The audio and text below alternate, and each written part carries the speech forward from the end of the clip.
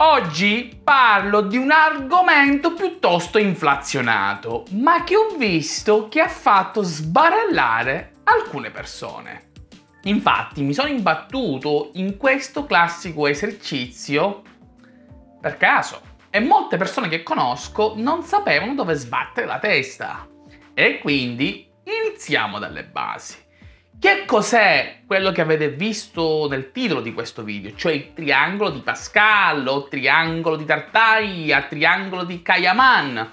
È un triangolo formato da un numero di righe predefinite in cui sono presenti dei numeri. Riciclando questa bella animazione che ho preso da Wikipedia, ai bordi abbiamo sempre uno e ognuna di queste cellette viene calcolata sommando le cellette che stanno sopra adiacenti. Esiste un altro modo per calcolare il numero presente in ogni celletta, utilizzando il coefficiente binomiale, quindi supponiamo di stare utilizzando una numerazione zero based, quindi questo cosa significa?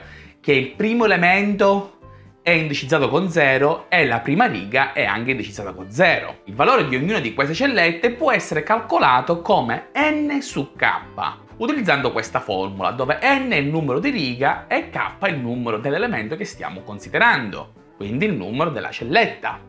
Ora, lo scopo di questo esercizio è quello di non utilizzare una tabella, ovvero non possiamo precalcolare i valori e poi sommarli insieme come vediamo in questa animazione. Bisogna calcolarli al volo e per questo motivo possiamo utilizzare la formula del calcolo del coefficiente binomiale. È una frazione dove sopra abbiamo il fattoriale di n, sotto nel denominatore abbiamo il fattoriale di k e il fattoriale di n meno k. Questo ovviamente assume che n sia sempre maggiore o uguale a k. Per chi non lo sapesse, il fattoriale di un numero intero è semplicemente il prodotto che va da 1 fino a n. Se vogliamo calcolare il fattoriale di 4, basta fare 4 per 3 per 2 per 1. Ovviamente 1 lo possiamo scartare, vabbè. Quindi il fattoriale di 4 fa 24. Da dove salta fuori questa formula del coefficiente binomiale? Senza andare troppo nel dettaglio, viene dalla statistica e ci permette di rispondere a questa domanda quanti insiemi di k elementi posso fare con n elementi? Mi spiego peggio e lo faccio utilizzando le mie figurine di Dragon Ball. Ho tre figurine, Goku, Vegeta e Cell, quindi n è uguale a 3. Quanti insiemi di due figurine posso formare avendone solamente 3? Se applichiamo la formula otteniamo 3. Quindi abbiamo Goku e Vegeta, Vegeta e infine Cell. Ok, quindi dobbiamo fare un programma che iterativamente invoca una funzione che calcola n su k per ogni elemento e riga del nostro triangolo. E che ci vuole? In effetti non ci vuole niente. Ma non funziona. O meglio, non funziona bene. Il problema del fattoriale è che cresce molto rapidamente e anche usando unsigned long, long int in C, io arrivo a stampare fino a 21 righe. Alla 22esima scogliona tutto. Questi valori nell'ultima riga sono minori di quelli della penultima riga e questo perché va tutto in vacca per via dell'overflow degli interi. Potremmo pensare di utilizzare il double per fare moltiplicazioni intere, così da avere più spazio, ma non possiamo mai essere sicuri che tutto vada bene. Fatelo voi come compito per casa, il codice lo trovate sempre su GitHub. Magari su questa cosa ci farò un video dedicato e credo di averla già detta questa cosa e ancora non l'ho fatto sto video dedicato, vediamo. Possiamo migliorare in qualche modo il codice per stampare più righe? Sì, ma lo facciamo dopo la sigla.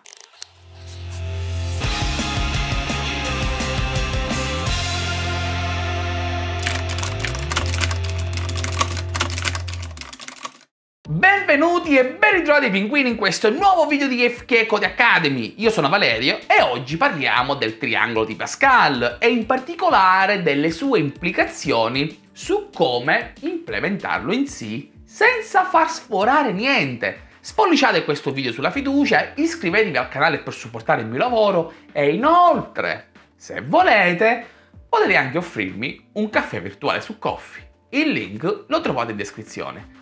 E quindi continuiamo adesso da dove ci avevamo lasciato e andiamo a vedere come possiamo migliorare questo codice.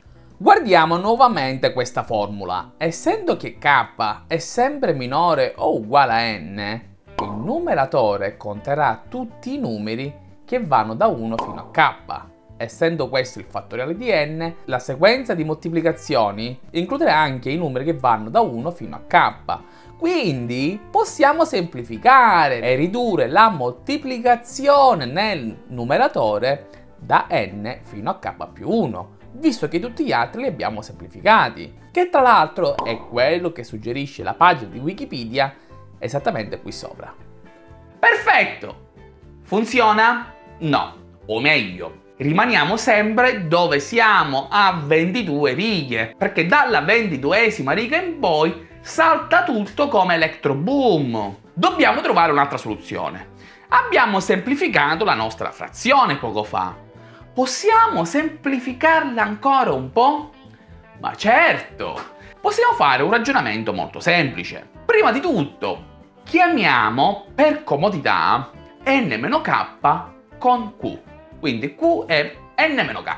Man mano che moltiplichiamo i fattori nel numeratore, partendo da n, controlliamo se n è divisibile per q. Se lo è, quello che faccio è di moltiplicare il nostro risultato parziale per n diviso q, perché so che mi dà un numero intero senza resto, perché lo sto controllando prima. E ogni qualvolta che trovo un numero che sia divisibile, scalo q di 1. Se non trovo niente, moltiplico semplicemente per n e poi successivamente io quello che vado a fare è di calcolare il denominatore con i numeri che mi sono rimasti, perché io ho scalato Q diverse volte, e quindi se a meno ci resta un 2 lo dobbiamo considerare come denominatore. E forse sarebbe il caso di fare un esempio e questo esempio lo faccio con n uguale a 5 e k uguale a 2. Questo significa quanti insiemi di due elementi posso fare partendo da 5 elementi? Vediamolo. Nel numeratore abbiamo 5 per 4 per 3. Q, che sarebbe n-k, è 3. Quindi qua nel denominatore mettiamo 3. 5 è divisibile per 3? No. Andiamo avanti. 4 è divisibile per 3? No. Andiamo avanti. 3 è divisibile per 3?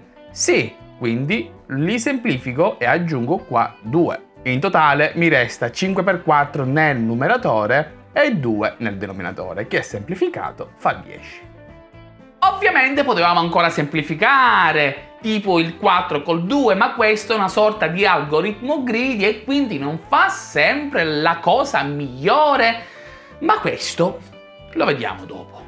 Questa soluzione sembra funzionare bene fino a 35 righe, una volta aggiunta la riga 36 iniziamo ad avere i primi problemi, per esempio questo numero dovrebbe essere quest'altro, ma niente, non ci siamo ancora. Però comunque abbiamo spostato l'asticella e siamo riusciti a generare più righe. Possiamo fare di meglio. Semplicemente, anziché fermarci solamente al primo valore del denominatore che troviamo che sia divisibile per il valore del numeratore, quello che faccio è per ogni numero del numeratore vado a vedere se esiste un numero nel denominatore che sia divisibile, cioè non mi fermo solamente a Q, ma vado a guardare Q, Q-1, Q-2 di volta in volta. E man mano che li trovo li tolgo. In pratica, se prendo l'esempio di poco fa, quando considero il 4, il 5 non lo consideriamo perché è un numero primo, io controllo sia il 3 che il 2 nel denominatore per controllare tutti i valori che stanno giù, che potrebbero essere divisibili con qualsiasi altro numero nel numeratore. Faccio anche questo per il 3, che lo trovo quindi lo semplifico e alla fine facendo tutti i conti ottengo di nuovo 10, avendo però eliminato altre operazioni ridondanti. Tuttavia, questo genere di approccio funziona bene fino a 39 righe, quindi ne abbiamo guadagnato un paio perché sembra che alla quarantesima riga iniziamo ad avere i primi problemi, si vedono già dai primi numeri, come vedete qua a schermo. Possiamo fare di meglio? A questo punto dobbiamo truffare. Dobbiamo truffare un pochino. Visto che almeno sul mio computer Con una CPU a 64 bit, gli interi sono fino a 64 bit, quindi 8 byte, se per esempio mettiamo assieme due interi, possiamo simulare di avere un intero a 128 bit ma il processore non li supporta, quindi non può fare operazioni con interi che stiamo creando noi. Quindi dobbiamo reimplementarci tutte le operazioni fondamentali, quindi la somma, la moltiplicazione, che sono quelle che servono in, um, in questo video, sia anche la divisione. Tuttavia non dobbiamo fare ciò perché GCC e anche altri compilatori fanno questo per noi e ci mettono a disposizione un tipo che si chiama underscore underscore int 128 che io per brevità chiamerò semplicemente Into 128. Questo tipo in particolare lo si trova su GCC, non sono certo che per esempio su Silang si chiama allo stesso modo, ma non importa. Se vediamo l'assembly generato nella somma di due int 128, vedremo che comunque utilizza registri a 64 bit e fa qualche operazione in più quando li dobbiamo sommare insieme. Quindi utilizzando int 128 noi riusciamo a stampare a schermo fino a 67 righe del nostro triangolo di Pascal. Ovviamente sto utilizzando unsign int 128. Siamo riusciti ad aggiungere 30 righe, che non è male. Possiamo fare di meglio? Fatemelo sapere voi nei commenti perché oggi io sono riuscito a fare quello che serviva, ovvero trovare una soluzione a un problema che ha in qualche modo non solo a che fare con i tecnicismi del linguaggio, sì, ma possiamo fare anche dei ragionamenti su carta, semplificando le operazioni e rimuovendo le operazioni che non servono. Come vi dicevo poco fa, il link di questo codice lo trovate su GitHub e quindi grazie per essere stati qui con me anche oggi e noi ci vediamo alla prossima. Ciao Kilu!